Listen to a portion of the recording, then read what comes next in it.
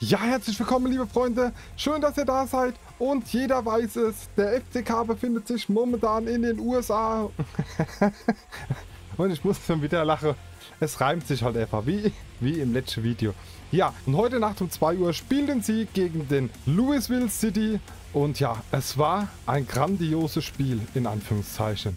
So, wir fangen an. Vor dem Spiel, was gab's? Als erstes gab es speziell für dieses Spiel angefertigten Biergläser. Es gab extra Biergläser. Sehr geil. Natürlich gab es auch, jetzt, jetzt kommt's. Wir sind in Amerika, liebe Leute. Es gab überbackene Bierkäse-Pommes. die Amis, die sind einfach nur geil. Und natürlich Made in Germany. XL-Schnitzel auf ein amerikanisches Milchbrötchen. So, aber jetzt kommen wir wieder zum Fußball zurück, denn ich bin hier kein Food-Blogger oder wie ihr das immer alle nennt. Nein, hier dreht sich alles um unseren Betze. So, also gehen wir jetzt in das Spiel rein. Jetzt seht ihr auch das Spiel im Hintergrund. Schauer, davon wie gesagt 100 FCKler. Angefangen hat es natürlich eher ein bisschen negativ, denn Louisville hat in der 14. Minute hier jetzt das Tor geschossen. 1 zu 0 für Louisville in der 14. Spielminute. Ja, und jeder dachte dann so, oh mein Gott, es geht schon wieder in die Hose. Und nein, sage ich euch, nein. Denn es hat gedauert bis in die 26 Minute, wo unser Lachsaufbereiter Terence Boyd im Liegen per Robbe den Ball irgendwie noch ins Tor geköpft hat. Und sowas muss man erstmal können.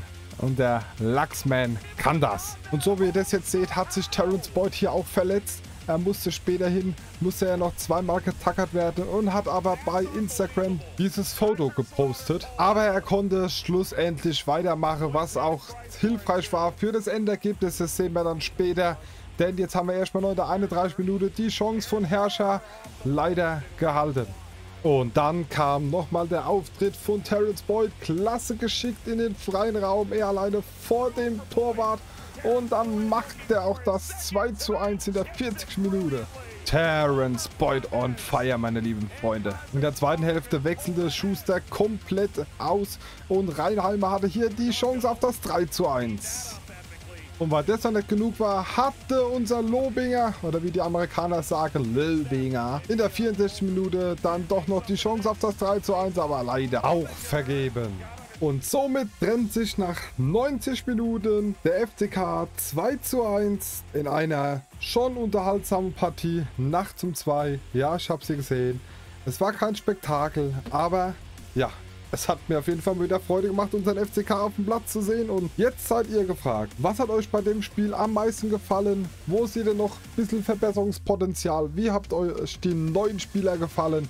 Schreibt es in die Kommentare, würde ich mich mörder freuen. Ansonsten like dieses Video und wer es noch nicht gemacht hat, abonniert meinen Kanal, ihr liebe Leute. Wir bewegen uns zu den 100 Abonnenten hin. Das wäre ganz cool. Wenn wir das die nächsten Tage packen würde, wäre so ein kleiner persönlicher Meilenstein für mich und meinen Kanal Betsy Universe. Ich sage vielen lieben Dank fürs Zuschauen. Ich hoffe, euch hat das Video gefallen. In diesem Sinne, euer Betze Universe.